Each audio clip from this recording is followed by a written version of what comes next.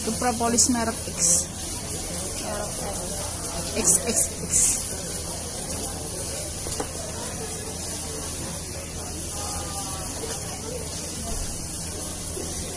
Ini jatuh.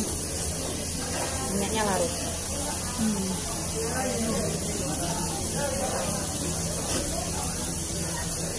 Nanti didiamkan dia akan mengumpal lagi ke atas. Yang ini, oh yang X.